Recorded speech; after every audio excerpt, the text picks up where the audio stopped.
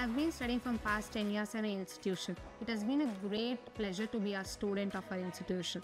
I have been seeing drastic changes in myself. I have been grew as a shy child to a confident and aware individual. We have blessed with an experienced and well-trained teachers. From 1 to 5th, we had been educated as a beginning level, but now we have been educated as a higher and competitive level of education. When I joined this institution, it had only normal subjects like core subjects and language subjects. But in the past year, they have introduced a new batch called CO batch, which is concept-oriented batch.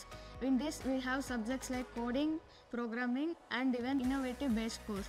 In coding, we learn how to code the subjects like Java, CSS, uh, HTML, and Python. In a IBC course, we learn how science works in an advanced way, and they teach us how we can make our own models of uh, which we imagine.